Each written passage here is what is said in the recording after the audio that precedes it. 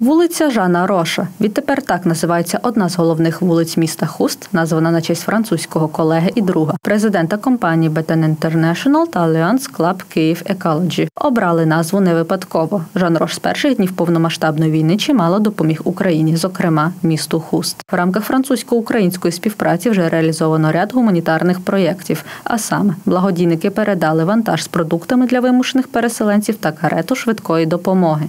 Це е, надзвичайно людина з великої букви. І наша перша зустріч, яка відбулася десь півроку тому назад, це в перший місяць березня початку агресії Росії проти України, де ми провели певні зустрічі і проговорили.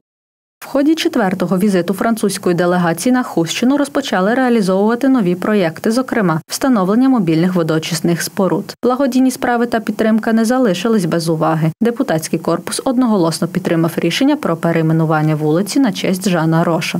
Депутатський корпус е, одноголосно 100% проголосував за перейменування цієї вулиці. Мені зараз приємно, ми знаходимося на цій вулиці. Вона дійсно сподобалася Жану Роше. Вона йому нагадала молодість, 68-й рік студенти, і це відбувалося е, у Франції. Ну, У нього таке приємне почуття.